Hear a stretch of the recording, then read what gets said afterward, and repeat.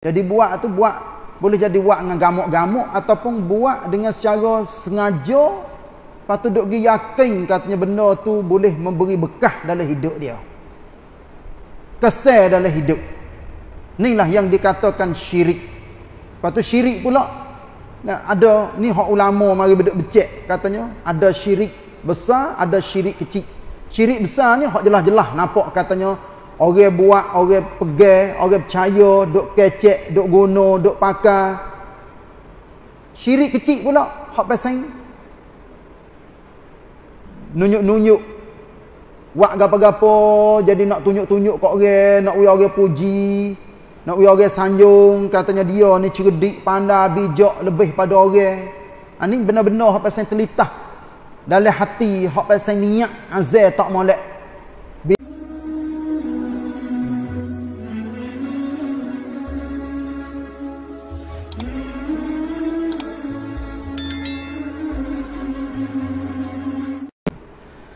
117 dan 118 akhir surah al-mukminun Allah firman di sini hubungnya dengan orang-orang yang bersyirik. Seperti uh, saya baca dah kemarin hurai sikit-sikit dan insya-Allah hari ini kita uh, perhabis suratul mukminun yang Allah Taala firman-Nya dan sesiapa yang menyembah Tuhan yang lain bersama-sama dengan Allah. Berartinya orang syirik dengan Allah Taala dok percaya kepada benda-benda makhluk nah yang seimbang ataupun sama dia dok berasa katanya hak dia duduk pengpa ataupun dia dok pegang dia percaya dia yakin dengan benda tu maka itu adalah syirik besar yang Allah Taala tidak akan ampun dosa dia. Nah. Dengan tidak mempunyai sebarang keterangan mengenainya. Jadi buat tu buat boleh jadi buat dengan gamuk-gamuk ataupun buat dengan secara sengaja patut duk pergi yakin katanya benda tu boleh memberi bekah dalam hidup dia. Kesal dalam hidup. Inilah yang dikatakan syirik. Lepas tu syirik pula Nah, ada ni hak ulama mari beduk becek katanya ada syirik besar ada syirik kecil syirik besar ni hak jelas-jelas nampak katanya orang buat orang pegang orang percaya duk kecek duk guna duk pakai syirik kecil pula hak pasang nunjuk-nunjuk buat gapo-gapo jadi nak tunjuk-tunjuk kat orang nak orang puji nak orang sanjung katanya dia ni cerdik, pandai, bijak lebih pada orang. Ha, ni benar-benar hak pasal telitah dalam hati, hak pasal niat azal tak molek. Bila buat nak tunjuk-tunjuk nak nak nak cur kat orang. Alhamdulillah, siapa-siapa yang tidak ada syirik, sama ada syirik besar maupun syirik kecil. Tanda katanya orang itu adalah orang berjaya. Alhamdulillah. Maka sesungguhnya hitungannya dan balasan amalnya yang jahat itu ni kita klik kepada orang-orang syirik saat ni yang Allah royak. Disediakan di sisi Tuhannya. Maknanya balasan neraka lah disediakan bagi orang syirik.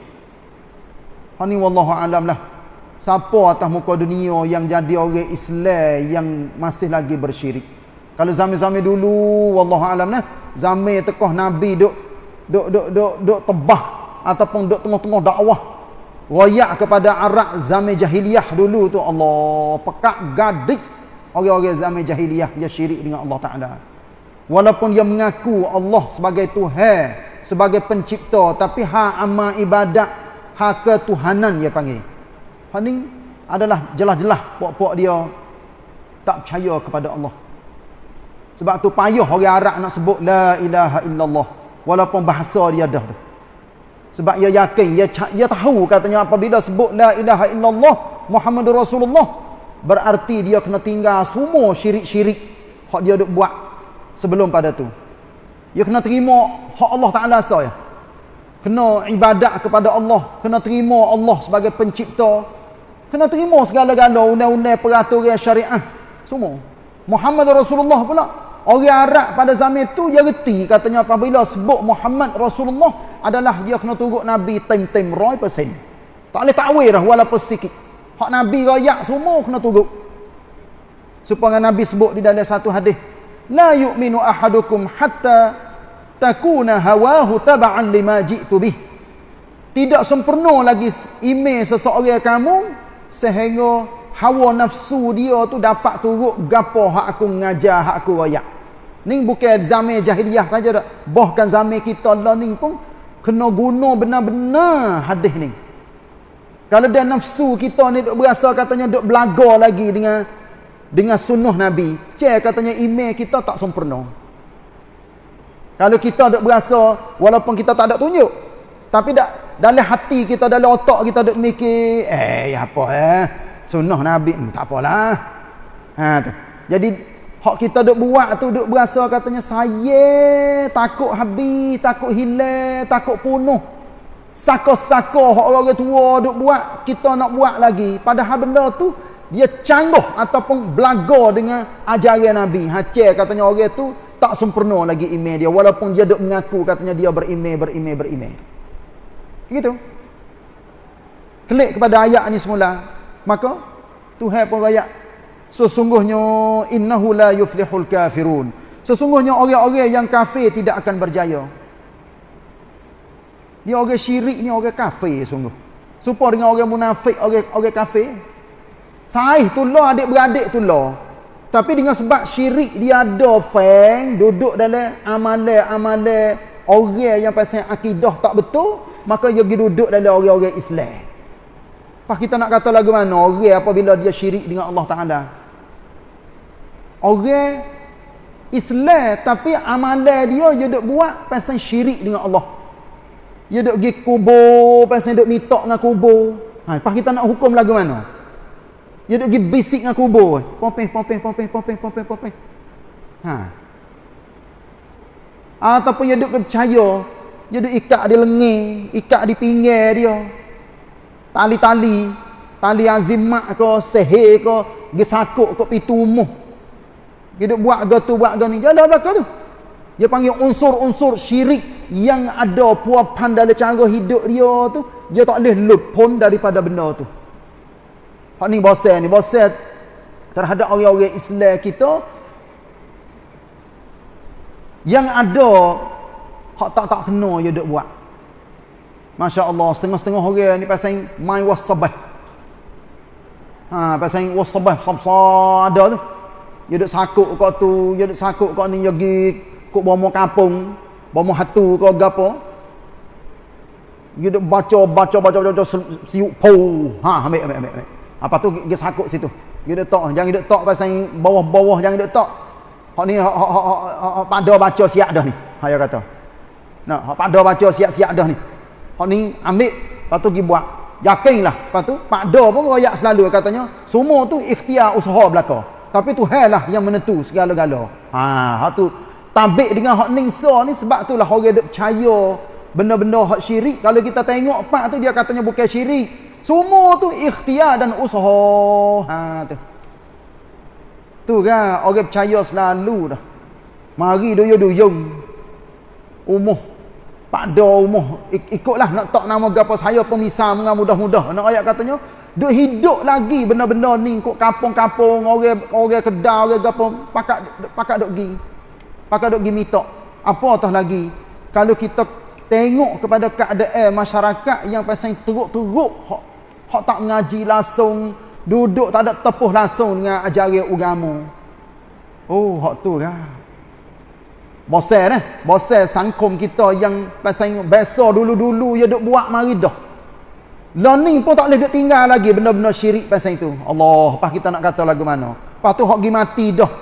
Zaman tok nenek tak tahu apa apa rung tok nenek dah. Zaman-zaman dulu tu. Allah alam lah zaman dulu pasal itu tok guru eh. Hak orang-orang soleh-soleh. Dia buka pondok dia, dia mengajar. Tapi orang kampung biasa-biasa nak dengar agama lagu mana? Dah tok guru tak ada duk turun ke kampung kok kok kok supaya zaman-zaman learning. Orang ngajar zaman learning walaupun 4 5 orang dengar tapi di, melalui Facebook melalui YouTube orang pakat boleh tiktam boleh dengar belaka. Pas zaman-zaman dulu wallahu alam kita bukan nak katanya orang dulu tu tak molek. Hak molek hak hak hak jerun ni banyak. Tapi amalan-amalan hak pasal syirik kita duk dengar daripada tok-tok nenek orang-orang tua dulu duk royak ah mengilipan dah yang mai teri mai go to mai go ni yam nazar pelak-pelak go to go ni eh gerung kita dengar Benar-benar hak dia duk nazar, hak pasal duk buat pada zaman-zaman dulu. Pas orang zaman dulu yang pergi belaka dah. Dia mati belaka dah. Pas kita nak kata lagu mana? Nanti doa kita. Minta ya Allah Taala ampun dosa dia.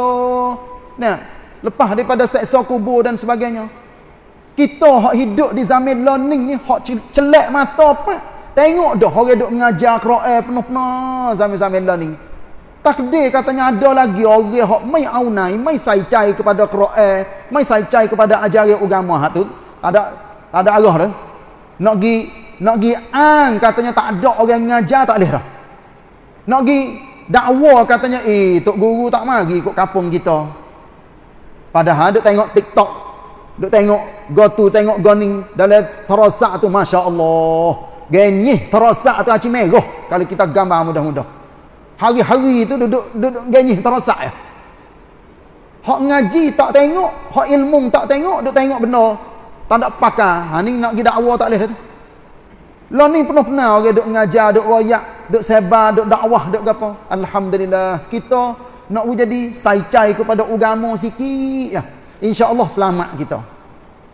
Kalaulah tak ada nampak katanya nak kepada agama tanda katanya kita mundur ataupun kita lalang. Tak serah kepada agama tu. Bosai-bosainya takut dia mati dengan hal tu. Tepek-tepek cemar syirik tu duduk dalam cara hidup kita. Nah cara makan minum tidur amal ibadat gotu gani akidah. Terutamanya akidah orang-orang Islam. Jangan we ada walaupun syirik sikit pun. Sebab tu Allah rayak di dalam akhir surah Al-Kahfi. Faman kana yarju liqa'a rabbih falyamal 'amalan salihan wa la yusyrik bi'ibadati rabbih ahada. Siapa-siapa yang berharap nak jumpa dengan Tuhannya. Falyamal 'amalan salihan. Hendaklah dia beramal dengan amal soleh. Wa la yusyrik bi ibadati rabbih ahada jangan dia campur aduk dengan syirik dalam amal ibadat saat ni ahada walaupun satu kara pun tak boleh seluma-seluma piah-piah pun tak boleh Allah ni besar benar ni hubungnya dengan syirik kadi ni kadi kira katanya perahan kadi syirik ni kadi perahan ciwit kalau atas dunia ไม่มีการอุทธรณ์ไม่มีการให้อภัยเด้อ Kenapa haluk dia? Tapi kadi lain-lain ada lagi uthon sikit sebanyak. Tak apalah, wi maaf lah, go to go ni, go to go ni. Tapi syirik Allah tak ada yin di dalam Quran. Ha tu, hak Nabi ayat dia, semua yang ada di dalam Quran tetap akan jadi sungguh dan akan berlaku dan Allah akan hukum. Nabi guna percakapan dia iaitu illa ma habasahul Quran kecuali benar-benar yang sudah pun ditetapkan oleh Al-Quran. Ma habasahu habasa artinya kurung. Habasa kurung. Maknanya semua tiap-tiap cara yang ada perakut dalam Quran ni benda tu tetap akan berlaku. Kecuali duduk di Allah Ta'ala nak apung. Tapi Allah yin yan siapa dua kali. Kalau tak silap saya dah. Inna Allah la yaghfiru an yushraka wa yaghfiru ma duna dhalika liman yasha. Sesiapa yang bersyirik dengan Allah Taala eh, eh, sesungguhnya Allah tidak akan ampun dosa orang yang bersyirik dengannya tetapi dia akan ampun dosa selain pada itu. Siapa kata Tuhan raya? Wa man yusyrik billahi faqad harrama Allahu alaihi al-jannah. Siapa yang bersyirik dengan Allah Ta'ala, Allah harai orang itu syurga. Titrah lalu dah, kakabat, mung tak boleh masuk syurga. Harrama alaihi jannah. Harai masuk syurga. Pas dia tu hai royak lagu tu, kita nak pergi nak pergi takwil kok mana lagi? Dengan ha syirik son. Alhamdulillah, dengar ayat-ayat pasal ini, wasa kriat dah. Wasa kriat. Sebab apa? Sebab Allah, dia royak macam tu. Tapi tu pun mari ayat akhir 118 suratul mukminun iaitu Allah katanya dan berdoalah wahai Muhammad dengan berkata. Royak kepada nabi di sini sebenarnya nak royak kepada ummah tiap-tiap orang. Wa qul, apa? Qul rabbighfir warham wa anta khairur rahimin ni doa pasal sore ni doa ni pasal sore rabbighfir warham wa anta khairur rahimin wahai tuhanku berikanlah ampun dan kurniakanlah rahmat. Kurnia kurnia ni maknanya berilah. Dah kita ni orang berdosa kita kena minta ampun dengan Allah Taala. Minta ampun segala tak pandai lagi minta rahmat. Supaya dengan apa? Nabi ada dia minta. Mula-mula lagu ni Rabbana zalamna anfusana wa illam taghfir lana wa tarhamna. Tengok. Lanakunanna minal khasirin Wahai Tuhan kami, kami sudah pun menzalim kepada diri kami sendiri. Kalau sekiranya mung tak apung wahai Tuhan kami dan tidak beri rahmat, nasaya kami masuk dalam golongan orang rugi. Berartinya ampun dengan rahmat ni kena kuapku. Apung dosa saja tak pandai lagi kalau sekiranya Allah Taala tak beri rahmat. Lepas tu doa belum pada ni, iaitu nya adanya Rabbana amanna faghfir lana warhamna wa anta khairur rahimin. Ni doa orang-orang mukmin masa duduk atas dunia banyak dia sebut. Rabbana amanna wahai Tuhan kami kami sudah pun beriman. Faghfir lana ampunkanlah dosa kepada kami. Warhamna rahmatkanlah kepada kami wa anta khairur rahimin. Munglah yang amat mengasihani. Allah. Nah sebab tu kita sore-sore sebut banyak doa ni. Doa akhir sekali dalam suratul mukminun Rabbighfir warham wa anta khairur rahimin. Wahai Tuhanku, berikanlah ampun dan kurniakanlah rahmat dan sememangnya engkaulah sahaja sebaik-baik pemberi rahmat. Inilah banyak tafsir-tafsir dak royak dak. Terutamanya dalam saya baca dalam fi zilalil Quran oleh Said Qutb. Dia katanya cium yung di antara ayat akhir dengan ayat mula-mula dalam suratul mu'minun yang Allah Taala firman-Nya qad aflahal mu'minun alladzina hum fi salatihim khashi'un. Sifat-sifat orang mukmin yang berjaya yang pertama sekali iaitu orang yang semaya khusyuk.